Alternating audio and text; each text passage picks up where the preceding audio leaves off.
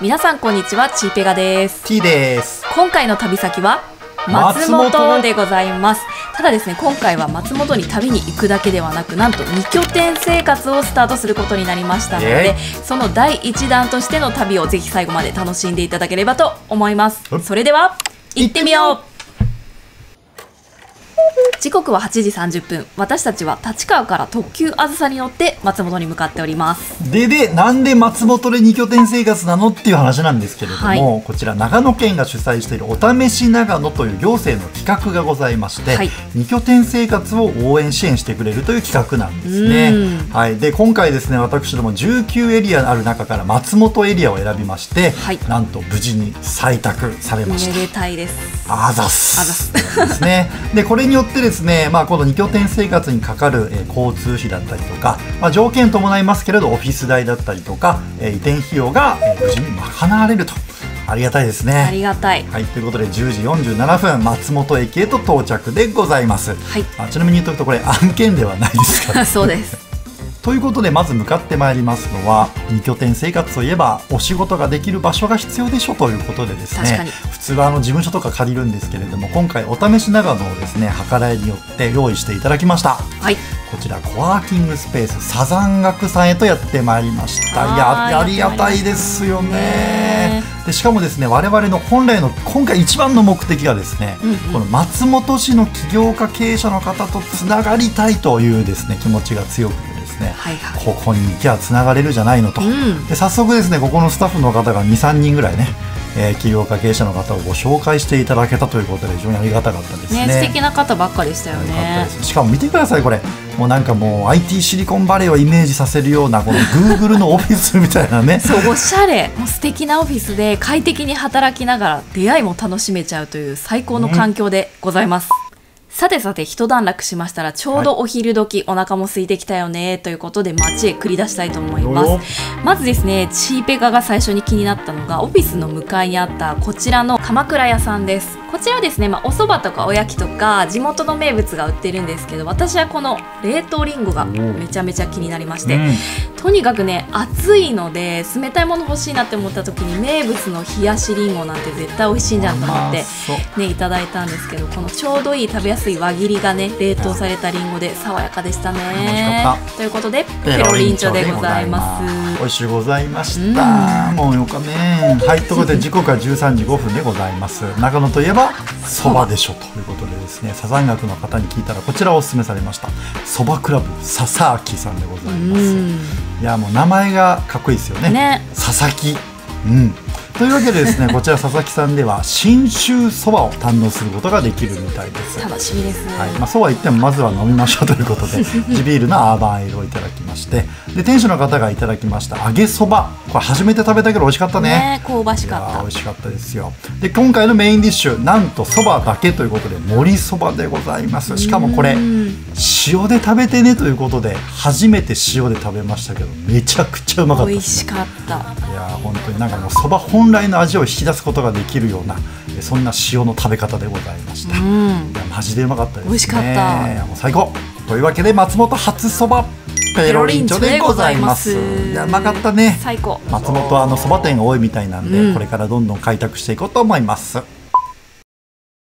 さてお腹も満たされましたので続いてどうしても来たかった場所があります。私たちの最近の旅に欠かせなくなっているのがですねパワースポットなんですけれども。そうだオフィスの近くにこちら。あったね。与柱神社というですね有名な神社があってこれもね、ね、嬉しいなと思うんですけれど、まあ、これから松本でお世話になるのでご挨拶に参りました、うん。で与柱神社という名前の通り実はここ4人の神様が祀られていて、ね、そうなんです。ご利益も4種類あるんですけど 今回私たちこのために御朱印帳を買いまして記念すべき1ページ目は与柱神社になりました、うん、いいね、素敵ですねで特に一番のメインって言われているご利益が縁結びなんですよね、うん、ということであの私たち松本とのご縁も結んでいただいていいご挨拶できました。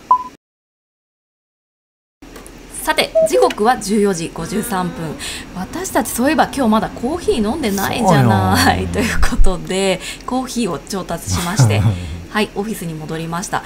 もうね美味しそうなお店めっちゃいっぱいあるんですよねもう食いしん坊の私たちとしてはもうそれをモチベーションにお仕事も頑張れそうだなって思いましたね。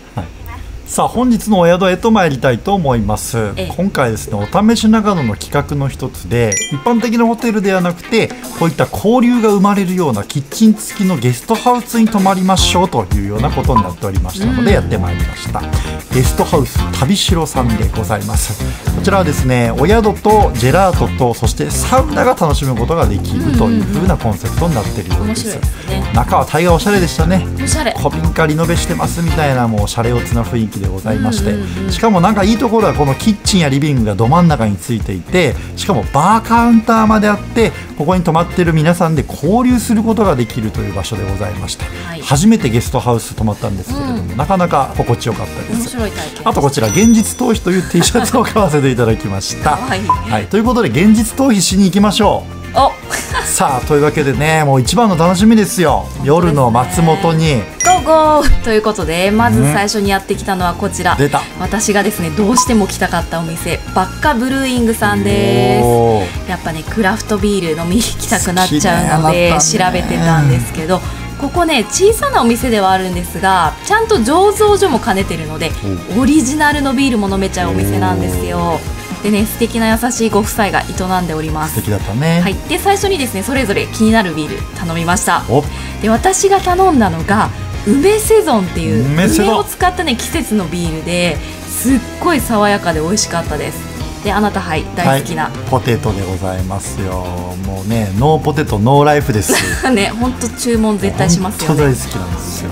はい。で2杯目もまたね好きなビールをいただきまして。この組み合わせでしたね。はい。サクッと美味しくペロリンチョでございます。大満足。大満足です。また来ます。はい。ランチはねカレーも食べれるってことだったんでカレーとビールも絶対最高。ね。また来たい。時刻は8時12分。鳥新さんという焼き鳥屋さんにやってまいりました。こちらはですね旅城のオーナーさんがもう絶対ここ行った方がいいですよということでですねおすすめをいただきましたいやー楽しみですね、うん、さあこちらではまず、えー、一番搾りのラガーをいただきました。乾杯。でございます。で一番最初にこうビビりましたね。お通しのレベル。鶏わさからいきなりめちゃくちゃうまい、ね、そうなんですよ。やばいぐらいうまかったです、うん、はい。そしてチーペガさんが頼みましたこちらレバーちゃんですね。あなたレバー好きね。本当にね。これ美味しかったですね。はい。そしてここの一番の名物はこれということでご紹介いただきました。ささみフライしかも中がチーズが入っとってとろとろでございました。もうめちゃくちゃ美味しかったです。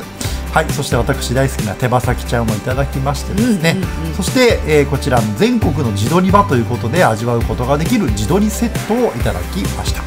えー、まあこれ地鶏飲んだらまあ日本酒でしょうということで日本酒いきまして、そして最後はこちら。焼きおにぎり。焼き鳥からの焼きおにぎり。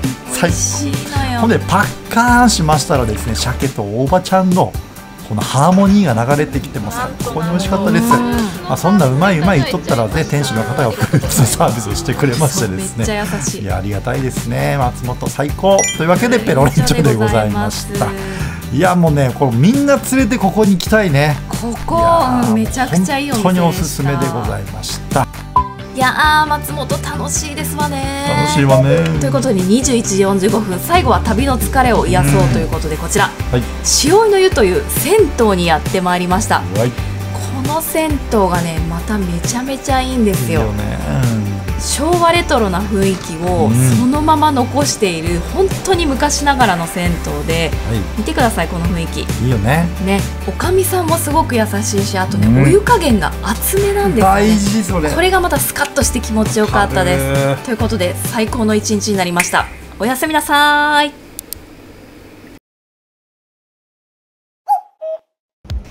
さあ2日目と参りました、うん、松本はやはり城下町でございますからこういった町がですね整備されております、えー、その中でもおしゃれな中町通りへとやってまいりました。まあまだ朝ですからね、うん、モーニングは食べようじゃないかしらということでやってまいりましたのがこちら超人気店らしいですよ。はい。中町カフェさんでございます、うん、いやもうこちらはね若い子がたくさん並んどられましたね、でもう中入ったらまあおしゃれですよ。今時です。今時でございます。ここはもう原宿ですか？みたいな、ね、表参道ですかと言わんばかりのシャレオツなカフェでございました、うん、でまず私は何頼もうかなって思ったんですけど長野っぽいものがいいなと思ってこちら。丸絞りのりんごジュースです。美味しそうね。私めはティーはアイスコーヒーでございます。安定のね。はい、そしてですねやっぱり朝はあれでしょということでフレンチトーストをいただきました。もうどうですかこのモーニングでフレンチトースト。絶対美味しいやつじゃないもう幸せの極みの極みですよ美味しかったですね。厚切り。よ、うん、もう大概美味しかったです。しゃれて朝からフレンチトーストペロリンチョでございました。いやもう幸せ。はいということでですねこちらを後にしまして今回のメイン観光へとやってまいりました。松本といえばねやっぱ松本城行かねばということで向かっておりましたらなんと事件です。出た。めちゃめちゃ大粒な雨がですね降ってきてしまいまして今かーいって感じだったんですけど雨の中の松本城ももしかしたらおつなんじゃないかと思いまして行ってまいりましょう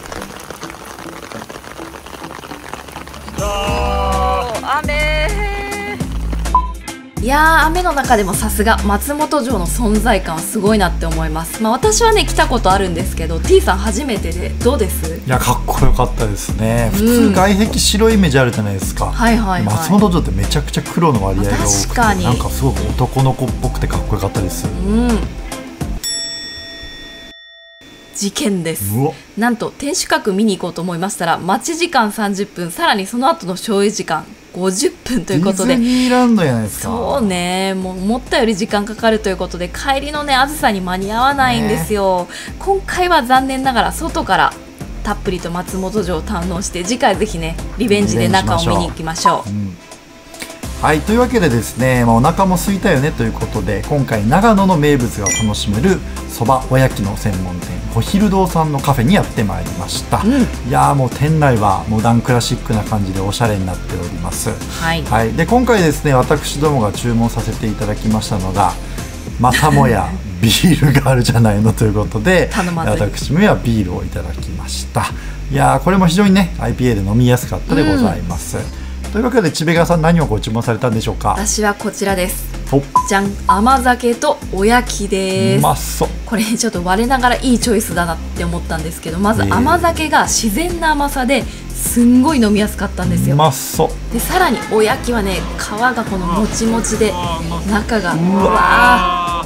ナスの吹き味噌にしたんですけどこれがねごろっとしたナスが具だくさんで美味しかった私はですね黒豚のお蕎麦ちゃんをいただきました。まあ、この日ね雨だったんで、うん、ちょっと体が冷えておりましたがこれで温かくして美味しかったです、まあ、長野といえば七味でしょということでですね、うん、こちらをかけて、えー、堪能させていただきました。というわけでペロリンチョでございます。美味しかったですね。さあ次へと行きましょう。さあもう一度中町通りへとやってまいりました。なんで来たんですか？